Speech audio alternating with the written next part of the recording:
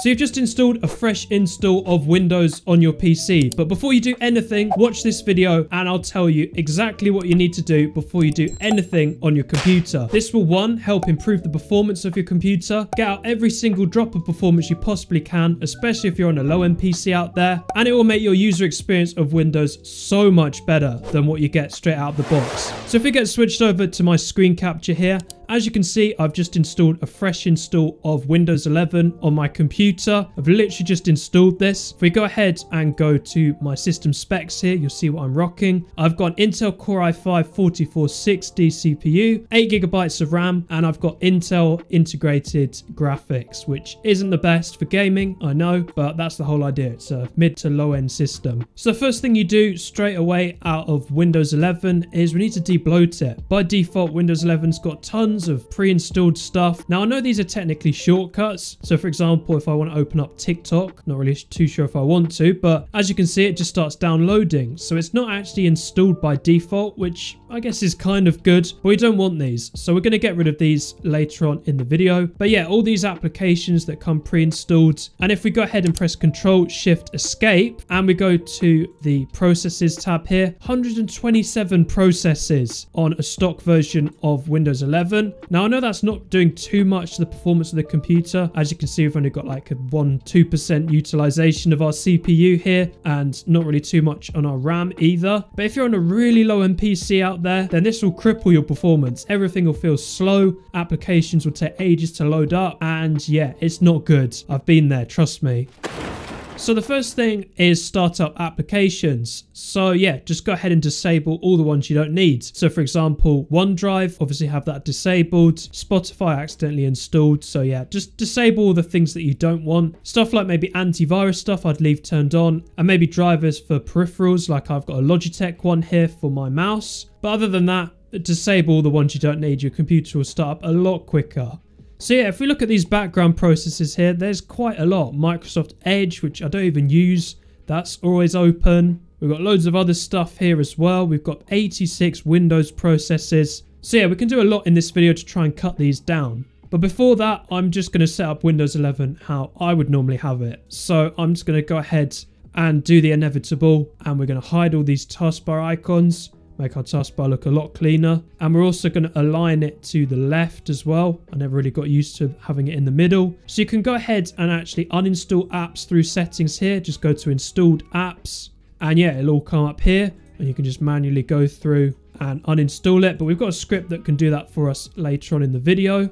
I'd recommend also using a local account if you can. If you've signed in and set up your computer with a Microsoft account, you can actually sign out of it and just use a local account. Also in gaming here, we can go and make sure we've disabled Xbox Game Bar because this really reduces performance when you're gaming. But there is some saving grace and there is game mode, which make sure you've got on. It should be on by default, but yeah, that will optimize our computer when we're gaming, which is always good to have. And also a given, just make sure you've updated Windows through Windows Update. Make you've got all the latest drivers and that kind of thing. If you're tech savvy, you can go to your manufacturer's website and get all your drivers through there. Otherwise, just use Windows Update, or you can even use a program called Snappy Driver Installer, which I'll leave in the description. Alright, with that all out the way, let's get into the advanced stuff. So first of all, go ahead and open up your web browser of choice. I'm just going to go with Google Chrome here. So the first tool we're going to check out is actually by a guy called Xemulated who joined my Discord and asked me if I'd check out his tool. So it's called X Toolbox. I'll leave a link to it in the description.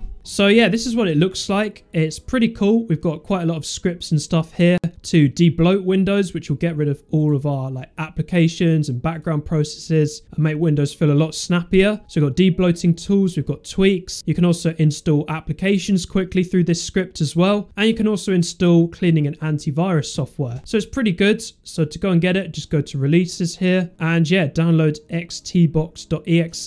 Now it will come up with a warning saying it's not commonly downloaded and be dangerous, but just go ahead and keep it, run it as administrator, and yeah, if it does come up with another warning, just run anyway. So X Toolbox is open source. If it gets flagged as malware, it's a false positive. So yeah, just note it's open source and there's nothing to worry. Trust me guys, I look into all of the scripts that I promote on my channel now, so hopefully we won't have another Windows Toolbox situation here. Anyway, so this is X Toolbox. When you first open it, you might have to type I agree or something. A little disclaimer I think pops up. But yeah, this is the menu. It looks pretty cool for a little script. So it's a pretty cool little menu we've got up here just showing all of our information, which is quite good. So the first thing that we're going to do is we're going to do debloating. Now to debloat, you just type D and whichever number you want to use. I have actually featured Hone Control on my channel before. If you want to check out my video on that, I'll leave that on the top right for you guys to go check out. So we're not going to go into that today. Instead, we're going to look at Shut Up 10, which is quite a funny name. And even though it was for Windows 10, I believe it is for Windows 11 now as well. So yeah, let's type in D and then 3 for Shut Up 10 press enter and yeah it's quite a nice user interface you can just go ahead and turn on and off all the stuff relating to things like privacy app privacy so what i'd recommend is just go into actions and then apply only recommended settings it does actually create a system restore point for you, which is really good that that's included. So yeah, just go ahead and press yes to that. And yeah, that'll apply settings. That is pretty much Shut Up 10. It's quite a powerful piece of software. You can actually disable internet connection to certain applications. And yeah, the possibilities are pretty much endless with this. It's really cool, but if you just want to just quickly optimize your computer, recommended settings and apply them is the way to go. Right, next up, we're going to look at Optimizer. So just type in D4 so yeah, this script basically just downloads other scripts. So credit to all of these scripts. And yeah, here's Optimizer. It's a lot like Shut Up 10. You've just got all of your um, switches and stuff here. So yeah, let's go ahead and go to Universal. And yeah, let's just enable all these settings. Why not? Oh wow, it even disables sticky keys. If you guys have been in Minecraft and spam the shift key, sticky keys has come up. So annoying. But yeah, pretty much everything apart from system restore I think we'll have turned on. We can also go to Windows 11 here and we can do some Windows 11 specific optimizations. So yeah, let's go ahead and uninstall OneDrive. I don't use it, so yeah. Let's just go ahead and disable that. We can disable automatic updates, which is really good. If you're in the middle of a game or doing something important and then Windows like, yeah, there's an update, restarting now. that disables that. So yeah, you can just go through all of this and decide which you want and which you don't want. Now, this is where it gets interesting. We've got UWP apps, which is basically the pre-installed apps that come with Windows. We can uninstall them using this script. So yeah, let's go ahead and uninstall some of these. So Microsoft Teams, goodbye. Yeah, I'm just going to go through all of these and yeah, we'll say goodbye to them. Right, so I just selected all the ones that I want. Press uninstall. Give you an overview of all the ones that are going. Press yes. And goodbye. So in theory, since these are UWP apps, they should hopefully not come back when we do a Windows update. Hopefully. Yeah, I really like this optimizer program. There's stuff like startup here, so you can do all your startup apps through here. You can install apps through this script as well, which is really good. We've got cleaner here, which is basically just like a glorified CCleaner, obviously without the spyware. So yeah, you can clean up your browser stuff here, temporary files. That's all pretty good. Can do registry tweaks as well, fix registry issues. Can also view your hardware and stuff as well here, your specs. So yeah, I really do like Optimizer, really good. So again, we need to restart to apply these changes. So I'll be back once I've done that. Right, so we're back on my desktop. And yeah, let's go ahead and look at our start menu. So if we go to our apps here, as you can see, so much cleaner. Some of the stuff I did miss like TikTok and stuff, but if you do want to do that, you can just right click uninstall. I did leave stuff like Notepad and Paint and Xbox, Xbox for gaming. And yeah, we can also uninstall Messenger and Instagram. For some reason I missed them. But other than that, that's pretty much all you need really.